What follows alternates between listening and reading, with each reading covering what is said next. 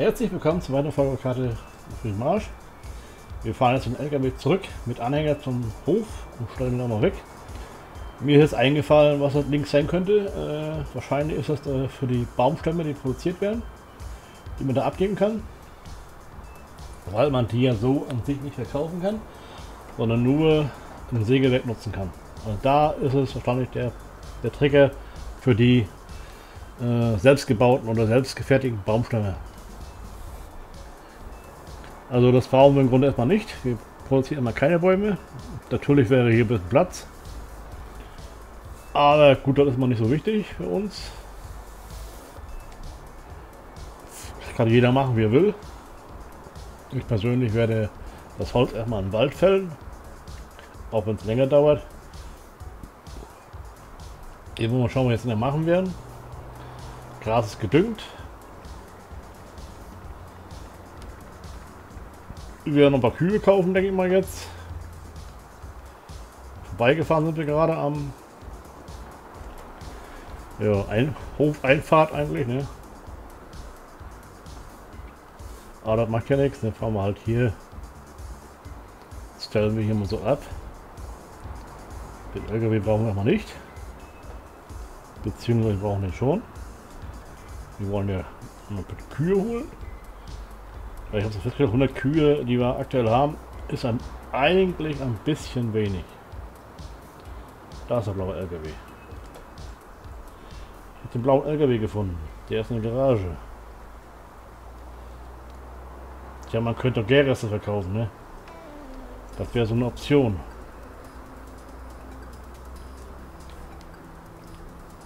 Hm. Wo ist unser Viehtransporter? ja, das war da nicht eine Garage? Hier vorne? Ja. Ne. Und mein ab und zu mal misst sich einfach ein paar Mods aus. Das, äh, da kann schon mal passieren, dass man ein, ein Fahrzeug hat und dann plötzlich nicht mehr. Das kann schon passieren. Also das ist, äh, würde ich mal nicht ausschließen. Aber wir brauchen den sowieso. Ich habe nämlich mir äh, für unsere Ferkel mir einen Stall zugelegt. Erstmal schauen, ob wir Ferkel haben. Jetzt ist die Zeit des Wachsens. Also hier, also laut Ziesen, geht Ernten sowieso noch nicht. Also spätestens im späten Herbst. Ist aber im Grunde nicht logisch. Sagen wir so, weil äh, viele Sachen werden schon im Juni geerntet. Und das ist mir, sag mal, Anfang. Aber gut, dahingestellt ist halt so, weil hier die Ernte geht bis rein bis zum Herbst. Das macht keiner. Keiner macht hier Weizen bis zum Herbst. Also das ist, vergiss es, das läuft, funktioniert nicht. Also der, der Weizen ist spätestens im August ist der erledigt. Also dann sollte er weg sein. Weil August kostet aber auch der Herbst, dann haben die irgendwo ihren festen Zeitplan. Also das funktioniert nicht. So, Schweine, haben wir schon Ferkel? Wir haben 63 Schweine.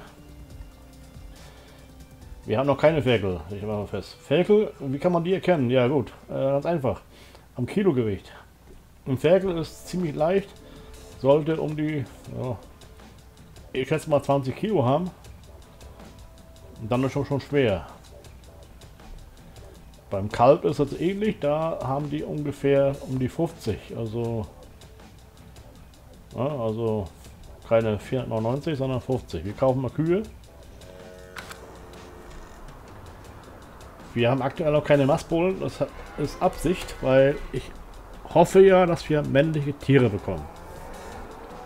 Und in der Natur ist es meistens so, da sind die Chancen, ich sag mal ungefähr 50-50. Also äh, da äh, hoffe ich, dass wir auch ein paar männliche Tiere kriegen. Das wären unsere dann Masttiere. Und die weiblichen Tiere, ja gut, dann, dann, dann ist ja die Überlegung, äh, behalten wir die oder verkaufen die auch später so zum als äh, Cities. Kann man das sehen? Ja. Ja, aber gut. Das ist immer nichts für mich. das sind Meldungen auf Englisch immer ungünstig für mich. Ich kann die immer nicht entziffern. Das ist immer hochinteressant, ja, gebe ich zu. Aber So, Kühe. Gut, das ist äh, ein Schaf, ne? 50 Kilogramm ein Jahr. Gut. Hm. Das ist aber ein Schwein. Gut, hier wollten wir gucken nach äh, unsere Holsteinkuh, weiblich. Wir haben ja davon eh schon welche. Aber wir legen dann ein paar zu. Und zwar Anhänger ist voll. Bestätigen. Schick. Nachfrage bei Reifeisen. Was, was wollen die denn haben?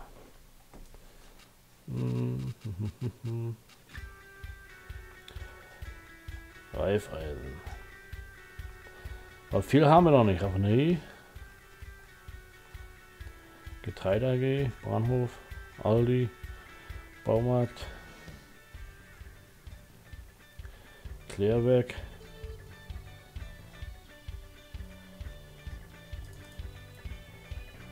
So.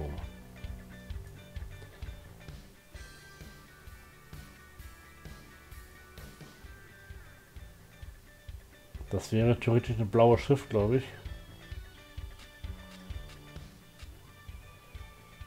Ja, Weizen. Gut, haben wir nicht. Also einen blauen Pfeil. Also da wird der Preis im Grunde stabil bleiben. Aber Weizen haben wir nicht. Wir haben zwar am Acker was. Aber ist noch nicht reif. Das ist schon ein Problem, ne? Abdeckung öffnen. N. Ja, so ein bisschen Luft reinkriegt, ne?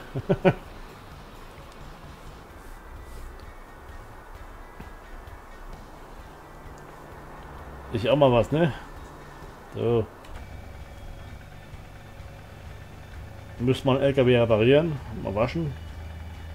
Aber die Scheiben sind noch sauber.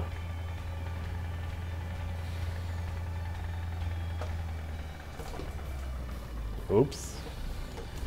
Beinahe vorbeigefahren. Dann können wir dann gleich wieder Kühe äh, Wasser geben und Futter.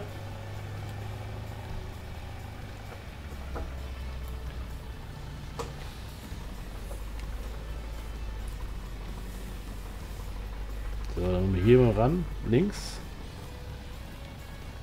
Oh, passt schon. Ja. Da nicht.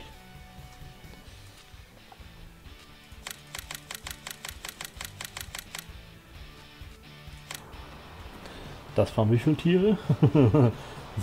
Mal interessieren, also 14. Das sind die ganz, ganz neuen, diese hier. Zwei Jahre erwachsen. Die erste Kuh nicht schwanger. Die zweite schon. 0,5 Jahre. Ja, halbes Jahr. Hoffentlich ja im Sommer.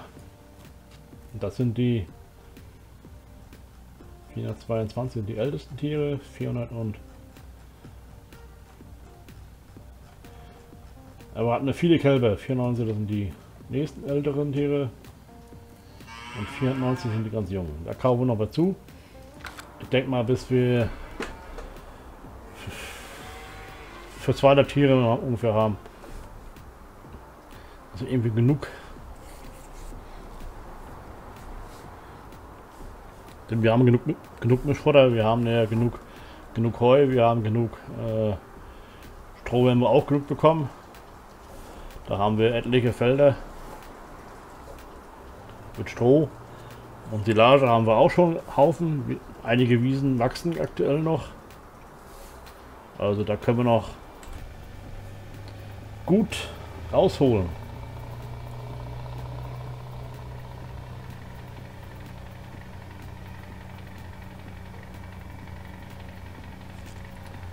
Erden geht ja noch nicht. Das ist ja das ganze Dilemma. Aber das wird ja noch was werden. So, hier sind wir da. Aufladen. Beste Kuh. Hm.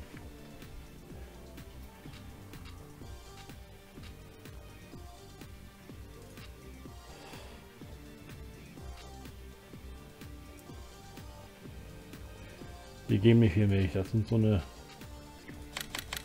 Züchtung für die USA. Für wärmere Regionen.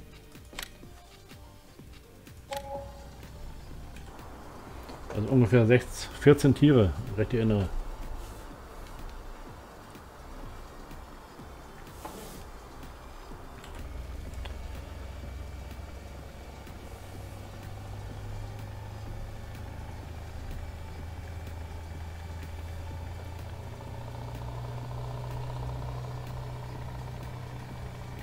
Ja, dann können wir näher auch voll einsteigen in die Mistproduktion, in Anführungszeichen. Sobald wir Stroh haben. Bekommen die Tiere dann Stroh. Dann werden wir dann so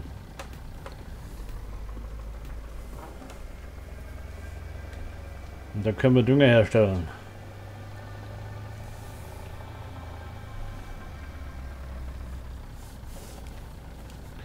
Ist wie gesagt immer nicht realistisch.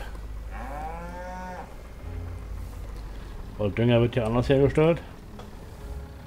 Aus Kunstmineralien, sagen wir so, ne? Kali und so.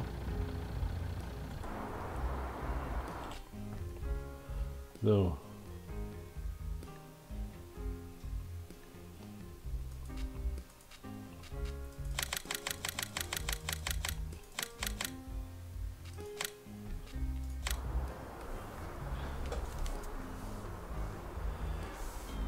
Dann können wir näher schön Futter geben. Und Wasser.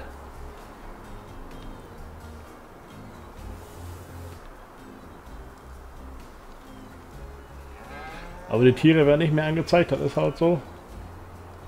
Aus, sag mal, technischen Gründen geht es nicht. Aber so ein Stall, hm. wenn man rein theoretisch würde, hm, wollte noch ein Dings bauen, Stall. Stall, ja, Gebäude. Mal gucken, was ist. Platzierbare Gebäude. Da, Tierhaltung. Neuen Schweinestall.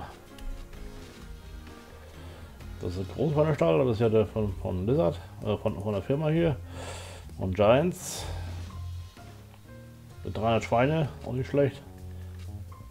So, das ist der, wo ich sagte, Kuhstall hat nicht funktioniert hatte. Schweine, äh, Kuhstall hat schon mal gehabt. Äh, Schweinestall hat nicht funktioniert. So. Milchhof, Milchhof. Das ist der Bio-Schweinestall. Jetzt sind die Ställe, die ich jetzt äh, neu habe.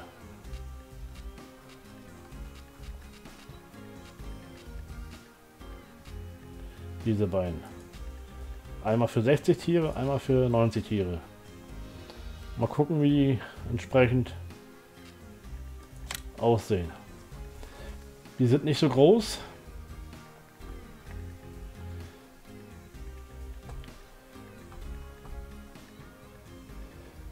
Da wäre noch Platz hier oben vielleicht. In der Ecke.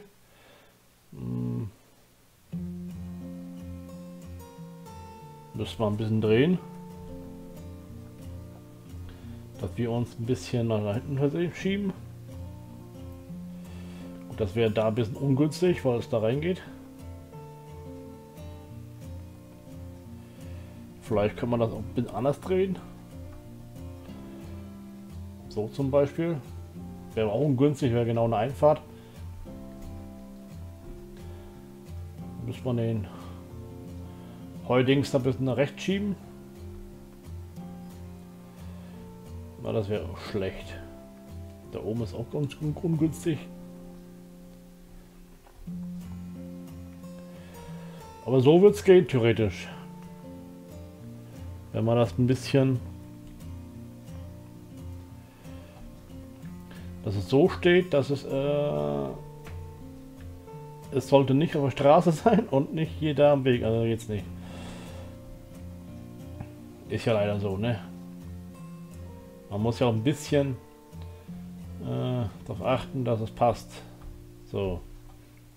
Das sind so eine Stelle, die man eigentlich ganz gut so eine Reihe machen könnte, ne? Aber das, wie gesagt, das passt nicht. Von der Länge her, quer. Quer wird es gehen. Dass man hier eins, zwei nebeneinander haben würde. Natürlich, wenn wir die Geräte vorher wegnehmen. Und da könnte man da die Ferkel reinnehmen. Dass man hier zwei nimmt. Und dann hier eins so. Könnte man so machen, da wird es nicht stören. Weil da wir ja eh kein Fahrzeug haben. Oder zumindest nicht so viele. Dann wären hier genau drei Stelle Platz für viele Schweine.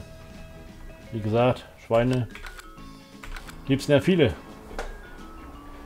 Und die müssen ja auch entsprechend, äh, ich sag mal, in drei Schüben kann man voll ausreden davon. Drei Schüben meine ich das dabei, dass die Sauen alle Vierteljahr ungefähr ihren Nachwuchs bekommen. Plus, minus, eher minus, Monat vielleicht, vielleicht noch ein bisschen länger. Aber so ungefähr. Und dann hat man ja irgendwann die werden ja nicht gleich schlecht Die brauchen ja ungefähr ein Dreivierteljahr, um die entsprechende Schlachtreife zu bekommen, die richtige Größe. Schweine sind ja da relativ schnell am Wachsen. Brauchen viel Futter und dann geht das los, ne? Wir mal sehen, wie es am besten klappen hier. Ja, das ist so eine Tiere alle Vierteljahre dann verkauft werden. Da haben wir immer viele viel Einnahmen. Nur mit, äh, mit Schweinen. Über den Schlachthof, dann können wir dann Leder verkaufen und Fleisch und Wurst. Und dann könnten unsere 100 und 100 Schweine, glaube ich. Oder waren es 63? 63. Also wenn das immer theoretisch pro Tier 8 Stück sind, dann kommt was zusammen, ne? Alle sind jetzt nicht trächtig, glaube ich. Aber wenn die meisten... Also wenn Tiere jetzt nicht trächtig wären und die nicht, auch nicht trächtig, dann gehen die weg. Und dann kommen neue dahin, ne? So, Zuschauer, das soll's für heute gewesen sein. Ich sage mal Tschüss und Winke, ciao, ciao. Ich hoffe, es hat gefallen. Dann würde mich freuen, wenn ihr zur nächsten Folge wieder reinschauen würdet. Bitte heute oder morgen. Tschüss.